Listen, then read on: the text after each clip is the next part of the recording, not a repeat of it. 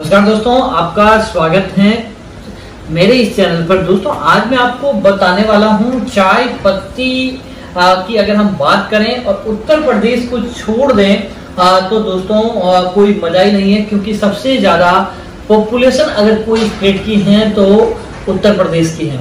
दोस्तों 25 करोड़ के आसपास उत्तर प्रदेश की आबादी है। तो सबसे ज़्यादा आपको वहाँ पर चाय का कंज्यूमशन देखने को मिलेगा। हर कंपनी की यह है कि वह उत्तर प्रदेश के अंदर स्पेशली चाय पत्ती का व्यापार करें और उत्तर प्रदेश के अंदर चाय की सप्लाई में जोड़ दें।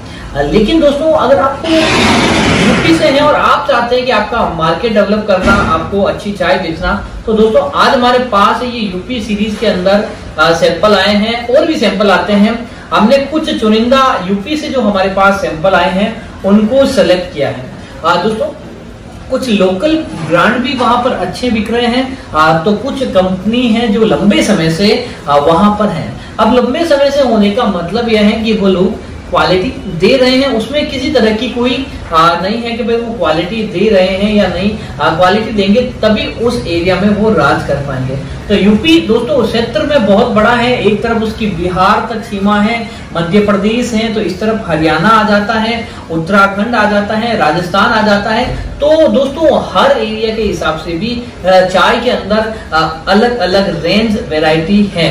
तो आज हम अगर खाली उत्तर प्रदेश की ही बात करने जाए।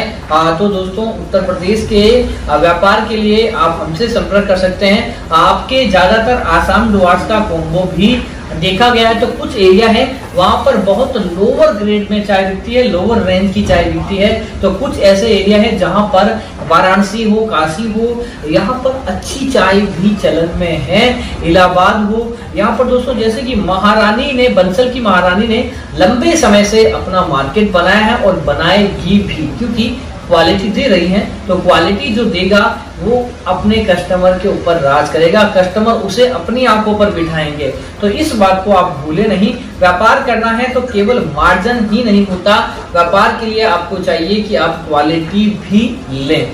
अब बात करें उत्तर प्रदेश के मार्केट की तो दोस्तों, वहाँ पर टाटा अग्नि जो अपनी लोअर रेंज के अंदर डील करती है मतलब समझ लीजिए 180 से 220 के बीच में भी मार्केट है तो टाटा का प्रीमियम स्पेशली उत्तर प्रदेश के लिए आप देख सकते हैं तो साढ़े तीन सौ चार सौ रुपए की भी चाय वहाँ पर बिकती है।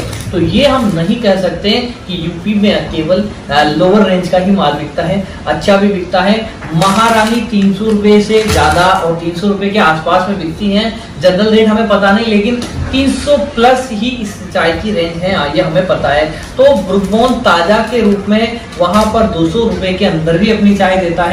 तो दूसरी बात करें आ, तो रेट लेवल के रूप में अच्छी चाय भी वहाँ पर चलती है। तो फुल संभावनाएँ हैं यूपी के बाज़ार के अंदर। फुल जो भी काम करना चाहता है उत्तर प्रदेश में आप के लिए बढ़िया अपॉर्चुनिटी है कि आप काम कीजिए। जानना है आपको कि आपको सहारनपुर में कैसी चाय चलती है तो वापस गोरखपुर में कैसी चलती है मेरठ में कैसी चलती है तो मऊ के अंदर कैसी चलती है वाराणसी के अंदर कैसी चलती है फैजाबाद के अंदर कैसी चलती है तो लखनऊ का क्या मार्केट है? अब आपको होना चाहिए पता कि आपको आ, माल बेचना है शामली हो आपको रामपुर हो बहुत बड़ा है पीलीभीत हो हाथरस हो आ, कोई भी एरिया हो हमारे पास सैंपल आते हैं। दोस्तों कन्नौज में जो चाय बिकती है वो चाय आपको सहारनपुर में उसका बिल्कुल उल्टा ही देखने को मिलेगा। जो मुरादाबाद में दानेदार चाय बिकती है तो आप मऊ या इस बेल्ट में जाओगे तो वहाँ पर आपको बारीक चाय देखने को मिलेगी।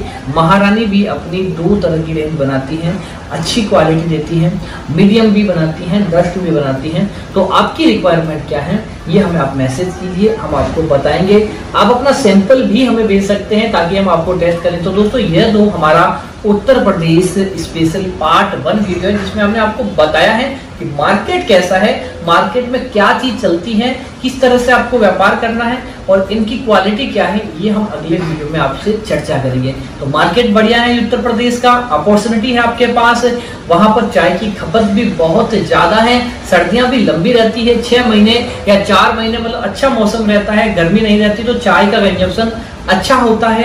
अब बात करें तो कृषि प्रधान राज्य है तो वहाँ पर दुधारू पशु भी है तो दूध भी है। तो इस वजह से लोग का, का रुझान शहर हो या गाँव हो चाय की तरफ़ ज़्यादा है।